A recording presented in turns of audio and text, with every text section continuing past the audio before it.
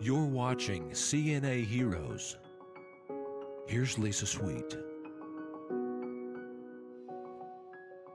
Hello, and welcome to CNA Heroes. I am Lisa Sweet, co founder of the National Association of Healthcare Assistants.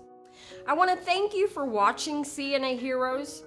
I would ask that you take a moment to share these videos and subscribe to CNA TV. You see, it's only by using the power of networking and sharing these videos that we will bring true recognition to these CNA heroes and the CNA profession overall. In researching for these segments, it seems like there's always a thread of similarity among the stories.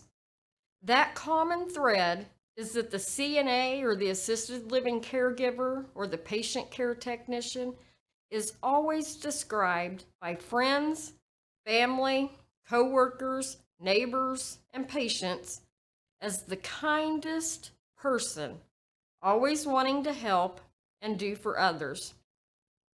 I believe this love for others and the deep desire to take care of everyone is a CNA trait that truly defines the role.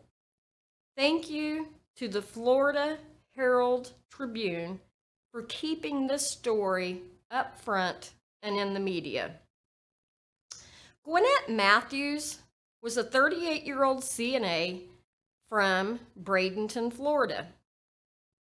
She was tragically shot down on September 10th, 2011, at a Palmetto nightclub that killed two people and injured 22 others when two armed gunmen sprayed more than 40 bullets into the crowd. To this day, no arrests have been made. Shawn Matthews, Gwenette's niece, describes her as a giving person.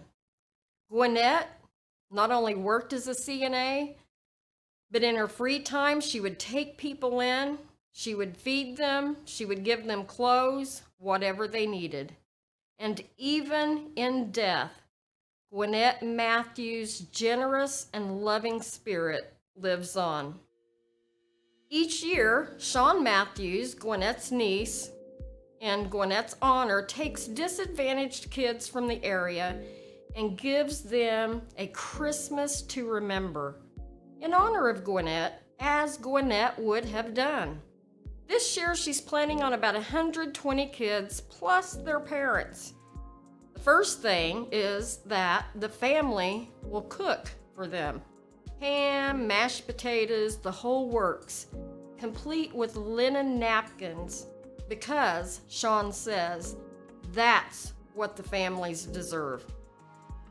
Each kid gets a toy and a book. Clowns provide entertainment. Some of the stuff is donated and some of it is not. It's purchased by Gwenette's family. The family's always looking for more donations, money, gift cards, anything helps.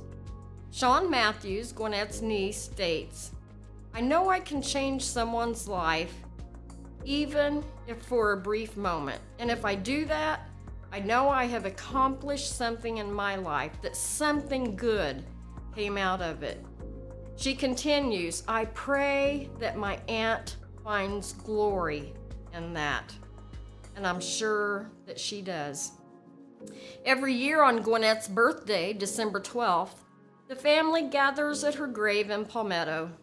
They write prayers on paper, then attach them to balloons and let them fly. The number of balloons corresponds with the age she would have been, and this year there will be 47 balloons in honor of this loving and caring CNA. The family remains hopeful that one day they will show up at her grave with the best birthday present of all news of an arrest of the person who took Gwenette's life. Gwenette Matthews was a caring CNA taken way too soon. So today, please join me in celebrating the loving, giving life of Gwenette Matthews, CNA hero.